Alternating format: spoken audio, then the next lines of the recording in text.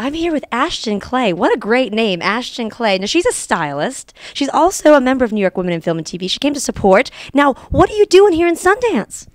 Well, first and foremost, I'm here to just have a great time and to ski and to see some great films.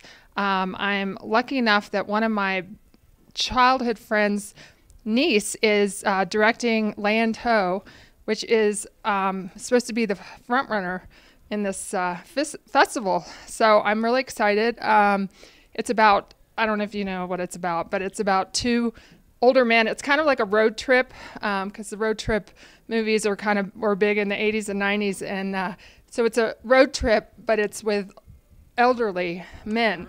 And they go to Iceland and they just do, all, you know, they find all kinds of crazy things they get into. So um, I'm hoping to get in on Wednesday to see that film. It's already sold out, and even with connections, I can't get in. So that's kind of been my um, only disappointment is it's really hard to get in the films. I came two years ago, and it w- it's just getting harder and harder to.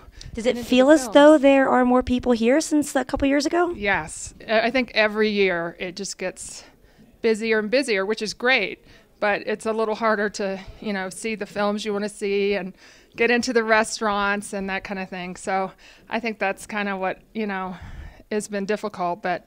I'm having a great time as always. That's so. that's the point. You're supposed to have fun. And today yes. we have a brunch with a bunch of lady filmmakers. Yes. How much fun is that? Have you had an opportunity to um to uh to, to look at any of these lovely ladies? No, I, I have not. Um, but I haven't. No, I haven't had a chance to meet any of the other fabulous women. So. I think you'll be in in in a, a very good, happy situation because they are wonderful. They've accomplished a lot.